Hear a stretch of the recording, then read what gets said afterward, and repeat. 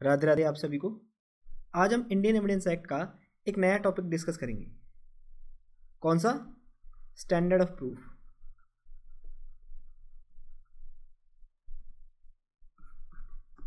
चलिए देखते हैं इसको। Standard of proof the method of proving that is burden of proof is on the prosecution plaintiff is same in both but there is a marked difference as to the effect of evidence or weight of evidence in civil and criminal cases तो क्या बताया जी? कि method of proving that is burden of proof दोनों ही cases में same है। यानी सिविल और क्रिमिनल दोनों ही केसेस में बर्डन ऑफ़ प्रूफ जो है, वो सेम है। एज दोनों ही केसेस में बर्डन ऑफ़ प्रूफ प्लेंटिव पर होता है, या प्रोसिक्यूशन पर होता है। बट सिविल और क्रिमिनल केसेस में जो मेजर डिफरेंस है, वो एविडेंस के वेट में है। ठीक है?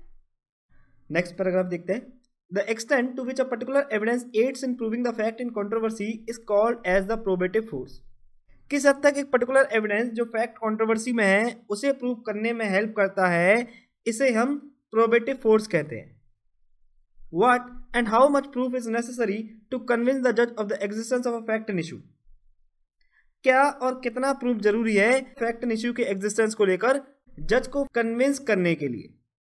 The answer depends upon many circumstances as different standards of proof are demanded in civil and criminal cases इसका जो आंसर है वो काफ़ी सर्कमस्टेंसेज पर डिपेंड करता है। क्यों? क्योंकि सिविल और क्रिमिनल दोनों ही केसेस में अलग अलग स्टैंडर्ड ऑफ़ प्रूफ की ज़रूरत होती है। Okay okay? आगे देखते हैं। In civil cases, the matter is to be taken to be proved when the balance of probability suggests it. But in criminal cases the court requires a proof beyond reasonable doubt तो क्या बताया जी? कि civil cases में एक matter को proof तब मान लिया जाता है जब बैलेंस ऑफ़ प्रोबेबिलिटी सजेस्ट कर देती है। सिविल केसेस में एक मैटर को प्रूफ तब मान लिया जाता है जब बैलेंस ऑफ़ प्रोबेबिलिटी सजेस्ट कर देती है। That means in civil cases effects and evidences are favouring one side then a presumption can be raised that the right exist in his favor. And that is enough to prove a fact. Okay? यानी अगर हम इसको conclude करें तो हम ये कह सकते हैं कि सिविल केसेस में जिस पार्टी के फेवर में ज़्यादा फेवरेबल फैक्ट्स एग्जिस्ट करते हैं, ज़्यादा एविडेंसेस एग्जिस्ट करते हैं तो जो केस है, वो उसी पार्टी के फेवर में डिसाइड कर दिया जाएगा पर क्रिमिनल केसेस में बियॉन्ड रीजनेबल डाउट यानी रीजनेबल डाउट से परे जाके आपको प्रूव करना होता है but in criminal cases the courts require a proof beyond reasonable doubt beyond reasonable doubt यानी कि you have to give strict evidence there should not be any room for doubt that means किसी भी तरह का reasonable doubt ना रहे. यानी किसी भी तरह की डाउट की गुंजाइश ना रहे. इस तरीके से हमें क्रिमिनल केसेस में फैक्ट को प्रूव करना हो ऐसा क्यों है जी? ऐसा इसलिए because criminal cases leads to conviction of accused है ना भाई? भाई सपोज़ करके चलिए कोई क्रिमिनल केस है, जैसे ए ने बी का मर्डर कर दिया। तो इस क्रिमिनल केस का रिज़ल्ट क्या होगा? कन्विक्शन ऑफ़ एक्यूज और अगर कोर्ट ने किसी एक्यूज को रॉन्गली कन्विक्ट कर दिया तो ये उस एक्यूज की पूरी की पूरी ज़िंदगी को तबाह कर देगा। उसे जेल के अंदर फिजिकली टॉर्चर किया जाएगा। He will become mentally very weak sometimes there is also chance that he might become serious offender. And even after इस एक्विटल जो सोसाइटी है, वो उसको एक्सेप्ट नहीं करेगी। है ना? क्रिमिनल जस्टिस देखिए आपने? एक वेब सीरीज़ थी क्रिमिनल जस्टिस हॉटस्टार पे स्ट्रीम हुई थी। देखिए आपने? उस बेचारे पर्सन को इनोसेंट होने के बावजूद मर्डर के लिए कन्विक्ट कर दिया जाता है। और फिर प्रिजन में उसके साथ क्या क्या होता है? किस तरीके से उसको फिजिकली अब्यूज किया जाता है? उसको सेक्सुअली असोल्ट किया जाता है? और फिर उसके बाद कैसे उसकी पूरी की पूरी लाइफ बदल जाती है, ये आपको अच्छे से पता ही होगा। है ना? अगर आपने ये मूवी नहीं देखी है तो आज ही जाके इस मूवी को देखिए। इसी तरह आपने एक मूवी देखी होगी, अंधा कानून। नाइन्टीज की मूवी है और अमिताभ बच्चन, हेमा मालिनी और रजनीकांत। इन तीनों ने इस मूवी में लीड एक्टर का रोल प्ले किया है। मैं दो लाइन में इसको समराइज कर देता हूँ। इसमें एक्चुअली होता क्या है कि कोर्ट अमिताभ बच्चन को एक पर्सन के मर्डर के लिए रॉन्गली कन्विक्ट कर देता है। फिर उसके बाद अमिताभ बच्चन की जो लाइफ है, वो पूरी तरीके से बदल जाती है। कन्विक्शन से पहले अमिताभ बच्चन की काफ़ी अच्छी फैमिली होती है, एक प्यारी सी गुड़िया होती है और उसकी एक वाइफ होती है। लेकिन अमिताभ बच्चन की कन्विक्शन के बाद जो जो उसकी वाइफ होती है, वो अपनी बेटी को मारने के बाद खुद भी सुसाइड कर लेती है। काफ़ी अच्छी मूवी है। आप इसको देखना एक बार। और अगर आपने गाना सुना हो, कि रोते रोते हंसना सीखो, हँसते हँसते रोना, ये जो गाना है, इसी मूवी का गाना है। बड़ा ही प्यारा गाना है, बड़े ही प्यारे इसके बोल हैं। जब भी आप कभी परेशान फील करें तो इस गाने को ज़रूर सुनिएगा एक बार। तो देखना आप इस मूवी को एक बार। आपको पता लगेगा कि कैसे अगर कोर्ट किसी पर्सन को रॉन्गली कन्विक्ट कर देती है तो उसकी जो पूरी की पूरी ज़िंदगी है, वो डिस्ट्रॉय हो जाती है। इसलिए क्रिमिनल केसेस में बियॉन्ड रीजनेबल डाउट प्रूफ करना होता है। ठीक है? You got my point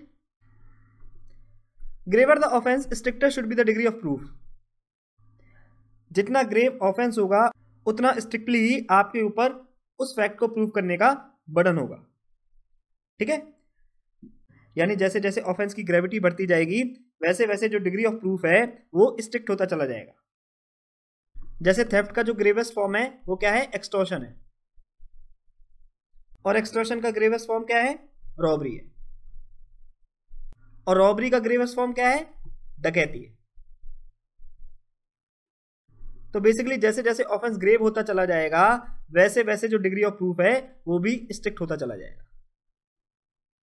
okay वापस आते हैं।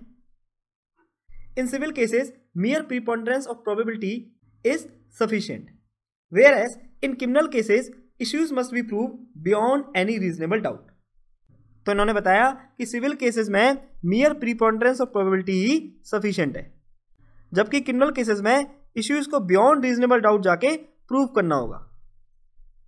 और ये जो रूल है, ये किस पे बेस्ड है? इंग्लिश लॉ की मैगजिम पर बेस्ड है।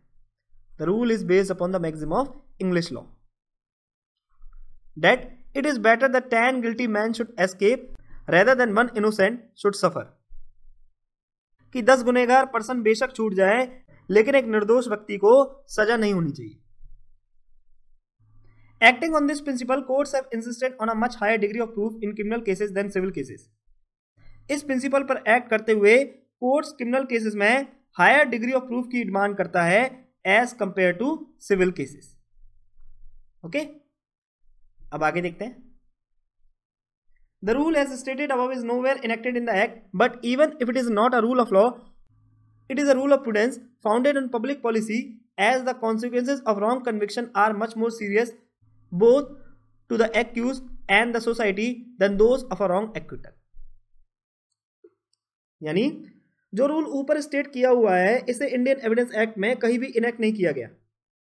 आप चाहे तो पूरा इंडियन एविडेंस एक्ट खोल के पढ़ सकते हैं, आपको ये चीज़ कहीं नहीं मिलेगी। तो इसलिए उन्होंने बताया कि बेशक से ये रूल ऑफ़ लॉ नहीं है, पर ये रूल ऑफ़ प्रूडेंस है, जिसे पब्लिक पॉलिसी पर फाउंड किया गया है, क्योंकि रॉन्ग कन्विक्शन के जो कॉन्सिक्वेंसेज है, वो एक्यूज और सोसाइटी दोनों के लिए ही बहुत खतरनाक है as compare to wrong acquittal और इसका बेस्ट एग्ज़ाम्पल कौन कौन से है? Movie Andha Kanoon and web series Criminal Justice. ठीक है? अब आगे देखते हैं। इन राज्य ग्राम versus Jaswant Singh Chauhan the court held that there is no difference between the general rules of evidence in civil and criminal cases the same evidence which may be sufficient to regard a fact as prove in a civil suit may be considered insufficient for a conviction in a criminal action while in the former a mere of probability may constitute an adequate basis of a decision, in the latter, a far higher degree of assurance and judicial certitude is required for a conviction. तो क्या बताया जी कि राज्य ग्राम versus Jaswant Singh Chauhan के case में court ने हेल्ड किया कि सिविल और क्रिमिनल दोनों ही केसेस में जनरल रूल ऑफ़ एविडेंस में कोई अंतर नहीं सिविल और क्रिमिनल केसेस में जनरल रूल्स ऑफ़ एविडेंस में कोई भी डिफरेंसेस नहीं है सेम एविडेंस जो सिविल केस में किसी फैक्ट को प्रूफ रिकॉर्ड करने के लिए सफिशिएंट है, वही एविडेंस क्रिमिनल केस में सजा देने के लिए इनसफिशिएंट हो सकता है। क्यों? क्योंकि सिविल केसेस में mere preponderance of probability is enough whereas in criminal cases you have to prove your case beyond reasonable doubt यानी सिविल केसेस में प्रीपॉन्डरेंस ऑफ़ प्रोबेबिलिटी डिसीज़न के बेस के लिए एडुकेट होते हैं, परंतु क्रिमिनल केसेस में higher degree of assurance and judicial certainty is require for conviction ठीक है? सर्टिट्यूड मीन्स सर्टेनिटी अब आगे देखते हैं। In criminal cases issues must be prove beyond reasonable doubt ठीक है, वही बात है कि क्रिमिनल केसेस में रीजनेबल डाउट से परे जाकर इश्यूज़ को प्रूव करना होगा।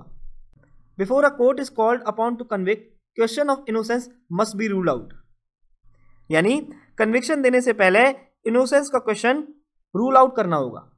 दैट मीन्स प्रोसिक्यूशन को यह साबित करना होगा कि जनाब ये जो एक्यूज है, ये इनोसेंट नहीं है। Okay okay? अब आगे देखते हैं।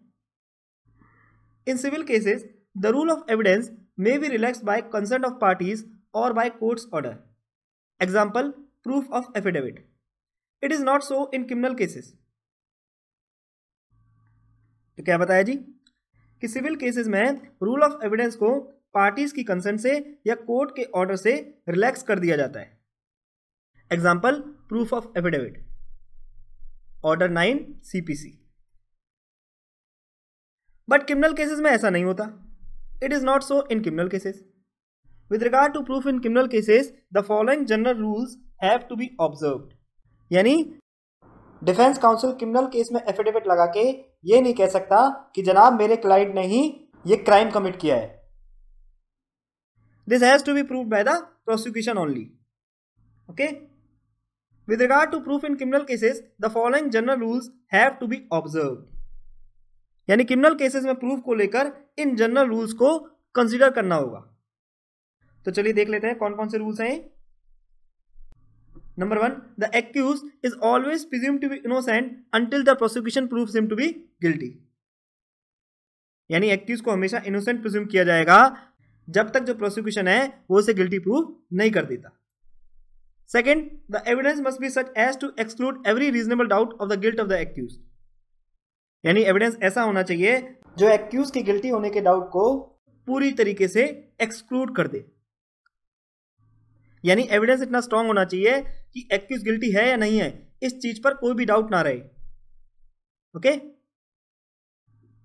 third in case of any reasonable doubt as to the guilt of the accuse the benefit of doubt should always be given to the accused Sometimes the evidence led leaves the mind in a state of doubt as regards the accused guilt.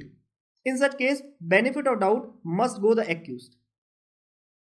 तो क्या बताया जी कि accused की guilt को लेकर यदि कोई रीजनेबल डाउट ऑकर होता है तो ऐसे केसेस में एक्यूज को बेनिफिट ऑफ़ डाउट दिया जाना चाहिए क्या जैसे सपोज़ करके चलिए कोर्ट के माइंड में एक छोटा सा डाउट एग्जिस्ट कर रहा है।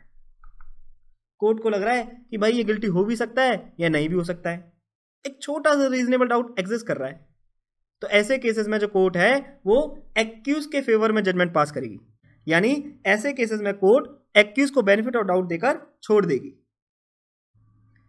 फिर आगे इन्होंने क्या बताया? Sometimes the evidence let leave the mind in a state of doubt as regard the accuser guilt in such case benefit of doubt must go to the accused कि कभी कभी होता क्या है कि प्रोसिक्यूशन एक्यूज की गिल्ट को लेकर जो एविडेंस लीड करता है, वो एविडेंस कोर्ट को एक डाउटफुल सिचुएशन में लाके छोड़ देता है। यानी जो कोर्ट है, वो ये डिसाइड नहीं कर पाती कि ये ऑफेंस एक्यूज ने कमिट किया है। क्या एक्यूज को कन्विक्ट करना चाहिए? कोर्ट के माइंड में एक कंफ्यूजन अराइज हो जाता है। तो ऐसे केसेस में कोर्ट एक्यूज को बेनिफिट ऑफ़ डाउट देकर छोड़ देती है। ओके अच्छा कमेंट करके बताइए, क्या benefit of doubt civil cases में भी अप्लाई होता है? बताइए, चलिए। अब लास्ट पॉइंट क्या है जी? There must always be clear proof of corpus delicti that is the fact of commission of the crime यानी क्राइम के कमीशन का हमेशा क्लियर प्रूफ होना चाहिए। हालाँकि हर केस में ऐसा पॉसिबल नहीं हो पाता। Okay okay? तो देखो, ये था हमारा टॉपिक स्टैंडर्ड ऑफ़ प्रूफ ये जो टॉपिक है ये मेंस के लिए बहुत इंपॉर्टेंट है। कई बार ये जो क्वेश्चन है, ये मेंस में रिपीट हुआ है। ओके तो आप इस टॉपिक को खुद से एक बार प्रिपेयर कर लेना। चलिए अब हम इस टॉपिक से रिलेटेड मेंस के क्वेश्चन डिस्कस कर लेते हैं। The rules of evidence are in general the same in civil and criminal proceedings comment and state if there are any exception to this rule और the rules of evidence are in general the same in civil and criminal proceedings give the exception if any तो exception क्या है जी? हम्म कि जैसे civil cases are decided on the basis of preponderance of probability whereas criminal cases must be prove beyond reasonable doubt likewise in civil cases rules of evidence can be relax by agreement between parties और by affidavits which is not so in the case of criminal cases ठीक है? इस तरीके से तीन चार exception आपको mention करने हैं। ओके? तो ये था हमारा आज का लेक्चर अगर आपको लेक्चर पसंद आया तो आप लाइक शेयर और कमेंट ज़रूर कीजिएगा। और अगर आपको लेक्चर पसंद नहीं आया है तो आपको डिसलाइक करने का भी पूरा राइट है। और प्लीज़ आप लोग कमेंट करके अपने फीडबैक ज़रूर दीजिएगा, जिससे कि फ्यूचर में मैं अपने आप को और इम्प्रूव कर सकूँ। और अगर आप लोग चाहते हैं कि वीडियोस में किसी भी तरह का मैं चेंज करूँ तो आप मुझे कमेंट करके बता सकते हैं। मैं पूरी कोशिश करूँगा चीज़ों को आपके अकॉर्डिंग चलाने की।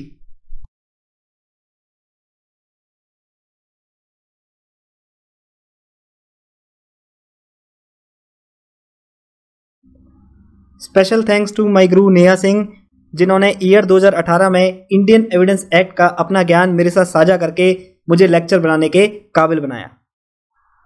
अगर आपको इस लेक्चर से कुछ सीखने को मिला है और आप मुझे कंट्रीब्यूट करना चाहते हैं तो आप मुझे कंट्रीब्यूट भी कर सकते हैं। ये है मेरा क्यूआर कोड आप किसी भी ऑनलाइन पेमेंट एप्लीकेशन के थ्रू मुझे पेमेंट कर सकते हैं। और याद रखना ये कंट्रीब्यूशन जो भी आप करोगे, ये केवल सोसाइटी के लिए यूज़ किया जाएगा, जैसे कि गरीब बच्चों की पढ़ाई के लिए, उनकी शादी के लिए, गौ माता की सेवा के लिए etcetera because I believe this contribution is by the people of the people and for the people only इसके अलावा इंस्टाग्राम और फेसबुक पे आप मेरे को फॉलो कर सकते हो। जो लिंक है वो डिस्क्रिप्शन बॉक्स में गिवन है। इंस्टाग्राम पे मैं अक्सर लाइव भी आता हूँ और प्रीवियस ईयर क्वेश्चन भी शेयर करता हूँ। तब तक के लिए स्वस्थ रहिए, व्यस्त रहिए और मस्त रहिए। Take care of your health physically mentally and emotionally जय हिंद, जय भारत।